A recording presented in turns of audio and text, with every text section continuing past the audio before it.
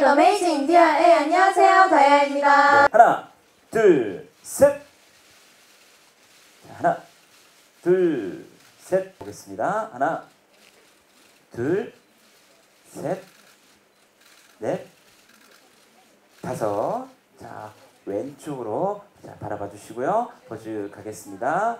자, 포즈 갑니다.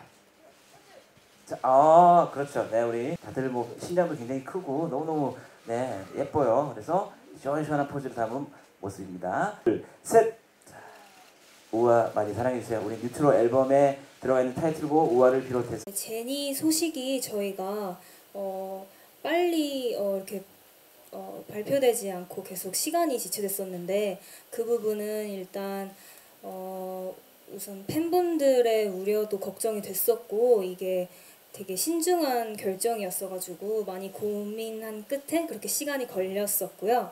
어, 제니는 저희와 함께 활동을 하면서 계속 무릎 통증, 통증을 호소했었는데 어, 이번 안무가 보다시피 예전 안무들보다 맞아요, 맞아요. 굉장히 진짜 파워풀하고 동작이 많아서 같이 준비를 하다가 제니의 무릎이 더 악화되고 더 심해질 것 같아서 네네. 이번 활동은 제니가 치료에 더 집중할 수 있도록 저희 멤버들이랑 상의를 해서 존중하기로 했습니다. 사실 저희가 뭐지 차트인을 차트인만 했으면 좋겠다.